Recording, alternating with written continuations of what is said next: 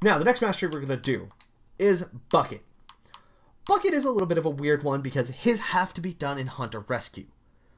Kind of. I would completely ignore his sentry guns and guided missile launcher for your first match. What you are going to do is you're going to jump back into refueling tower, make sure you set it to Hunt. You're going to go ahead, jump in, quite easy to do. Again, keep all the same stats you had before, all the same setup, but it doesn't matter if you have the radioactive clouds because you're obviously not shielding anyone. Now, Bucket's kit is his UAV, which can fly around. That is the mastery that has to be done in Hunt or Rescue. I would always recommend doing it in Hunt. Sometimes it's easier to predict where the monster's going in Rescue because he will always run to your survivors, but he doesn't always stay at stage 1. Bucket's elite mastery is to mark the monster 15 times in Hunt or Rescue at stage 1. It's easier to do it in Hunt because you can get a better feel of where they're going, and it's always easier to do it that way.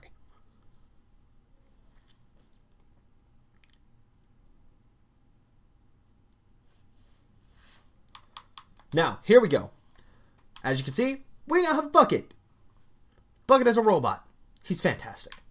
Like before, you're going to want to pick reload speed. That's very important for this character because otherwise it's going to take you a while to do his UAV, which is the entire reason we're going into this match.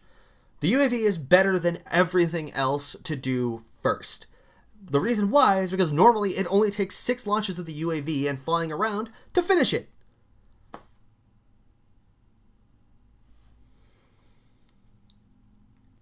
I know you guys find this all fascinating and all this conversating, but really, Daisy needs Beth, but you guys are going to hear any of this because I'm going to cut it all out. Maybe, I might not. You can probably enjoy hearing my rambling. I ramble a lot. Uh. Oh, by the way, here's a little Easter egg for you guys. If you turn your camera all the way to the right, and when he jumps, you can see a little cupcake in the pod there. Awesome, right? Alright, now, here we go. Back on the ground. Pull off your head. Of course, it is your flying head, which, you know, bucket. It's fantastic. Now, what you're going to do is just fly. Fly your head. Go. Have fun. Be free. You will only require three of these to do this.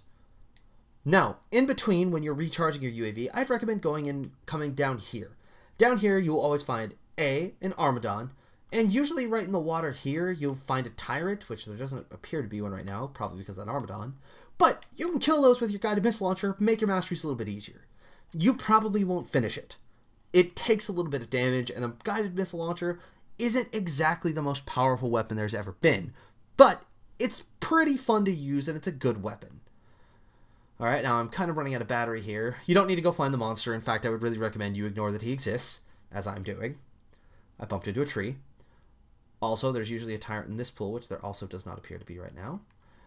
Alright, so my UAV has crashed. So now, as you can see, that's starting to recharge. And actually recharging pretty quickly, all considering. But you don't have to stay in the same place. Ah, now there's a tyrant. What are you going to do? Shoot him. Shoot him until you kill him. If you stay back a little bit, your other hunters won't attack him, and he won't come anywhere near you. He'll just stay there with his tongue out, being, you know, menacing. And as you can see, he's kind of running around in circles, and your hunters have decided to do something about it. I don't know why, they just decided, and Markov is now just standing there. Because that's a good place to stand. Oh dear, now there goes Markov. Fantastic. And the tyrant is dead, and if you're and if a tyrant grabs Markov just like that, you get to the Death of Tyranny achievement, which is to free a hunter from a tyrant. That's a pretty easy achievement that you can do just about any map in the game because there are tyrants everywhere. Now we're gonna come down to where that Armadon was. Except first, your UAV is recharged. Now you're gonna fly. Oh dear, someone just got grabbed. Is there a... Oh yeah. See, there's a second Armadon. That's why this area is really good.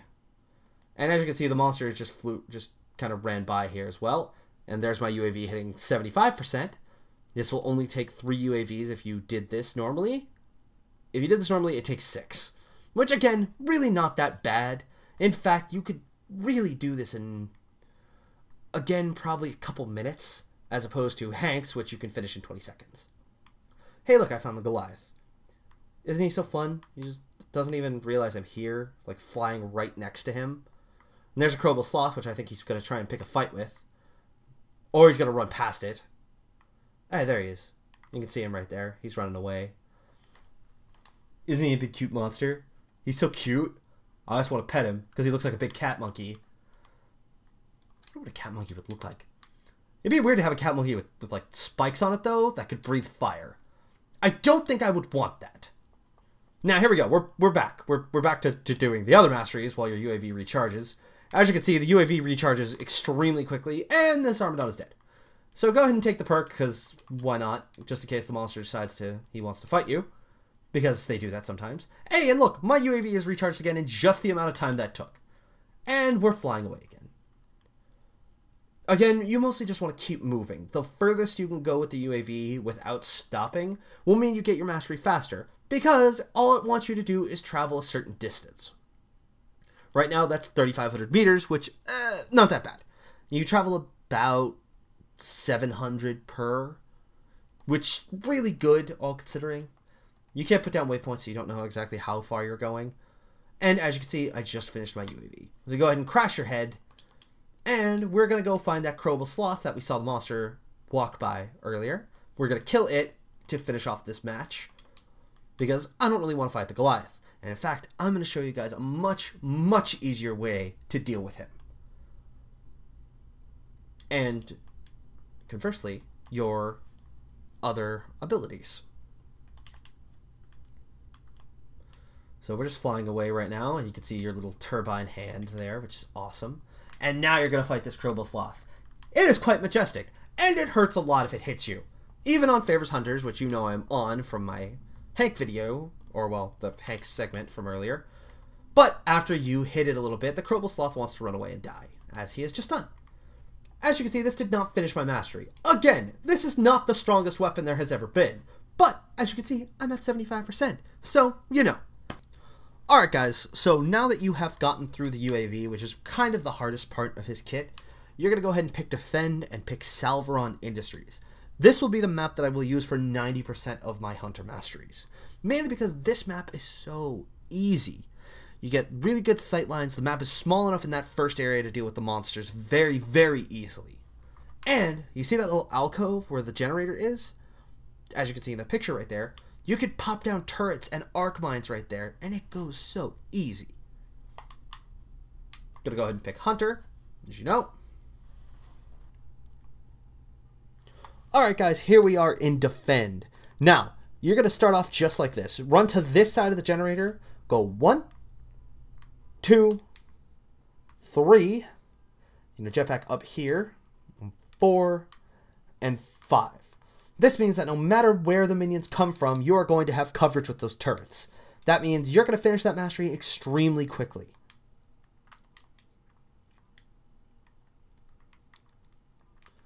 As you can see, they're right over there. Let them do their business. They will handle most of it for you because they're going to run right up to your turrets and make your life easy. While they're going, you deal with that Megamouth that's down there. Sometimes Megamouth doesn't spawn, but there is plenty of wildlife down here for you to deal with. There's canyon striders, there's not mammoth birds, there's dune beetles down in the monster area, which we will be handling in other masteries. Right now, you're just going to keep going with this. This guy is super slow, super... Oh, God, I just knocked myself down to him. Super slow, super easy, as I said. As you can see, I kind of got away from him rather fast. Oh, that's interesting. Oh, I fell down again. Oh, no. I'm falling down there. Remember, you are also the support, and as you can see, he's dead. As you can see, your turrets are still here, just hanging out, doing their thing. They've killed both minions already and destroyed a few of your turrets, so if you need to, just go ahead and pop down a few more. Again, your turrets are extremely useful. Do not be afraid to put them down again if they get destroyed. This is not a defend guide, keeping that in mind. This is a mastery guide. I will not give you tips for defend until maybe later, which that's not this video. Otherwise, here comes the Kraken. Now, because the Kraken is stage 3, it means you can beat him up and not worry about him running away for a while. And he's also going to run over and get sh shot to death by your turrets. So again, ignore ignore the minions. The turrets will handle the minions and they will boost themselves, which is great. You are going to want to guide these rockets into the Kraken until you get 100% like I did just there. Which, you know, Great. Meanwhile, your turrets are going to keep going on the minions until they die, which I'm just going to watch this happen. Of course, they're breaking them a little bit too, which means I'm just going to put down a few more. And now that the Kraken is right here too, you can watch your turrets deal with him. Although I may have missed the 100% message because this should have been done a little bit ago. Which, that's, you know, whatever it wants to be. Although I may have missed the 75% message because that should have been at 75%. Oh, there's 75% message. Okay, we're not done yet. I'm just going to watch the turrets shoot at the Kraken for a little bit. Or just watch him for a little bit. I'm going to go up here and help him. Now, I'm going to show you a useful tip in defend. Switch to the Trapper. Even if you're not gaining mastery on Bucket because you're not him at that moment, now that you have the Trapper switched to, you can throw the mobile arena and trap the monster inside. Welcome to the easiest way to do masteries. You can now put down as many turrets as you want in here, and they will play with him. And he can't get away, and he's level 3 and can soak up a lot of damage. So just, just go to town and keep throwing down turrets. This is a strategy we will be using a lot, believe me. But this is also the fastest way to do this, as long as you place your turrets in a good place. As I have not done, because he is clearly attacking me. I'm going to cloak so he stops wanting to kill me. Oh god, Val, go away. No, leave me alone. She's not leaving me alone. I hate it. More turrets are down now. So the turrets are, again, doing their job as they are supposed to. This is extremely fast way to do this. Keeping in mind, you can also do this in Nest, as they will attack eggs. Just let your turrets do their thing, and eventually they will hit 100%.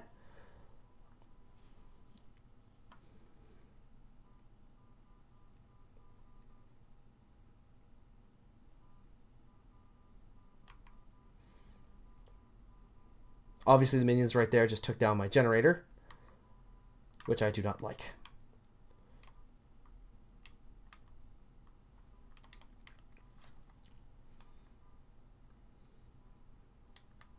We'll put down a few more turrets since the Kraken is right here. He's going to run right into those three again.